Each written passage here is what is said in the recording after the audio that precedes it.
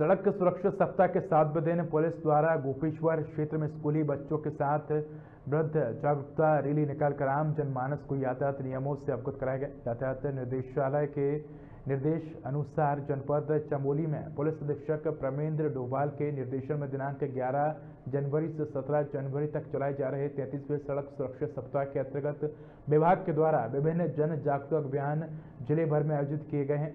सड़क सुरक्षा सप्ताह के अंतिम दिन चमोली पुलिस और परिवहन विभाग द्वारा संयुक्त रूप से स्कूली बच्चों के साथ मिलकर पुलिस लाइन गोपेश्वर में सड़क जागरूकता कार्यक्रम का आयोजन किया गया। चमोली से संदीप की रिपोर्ट।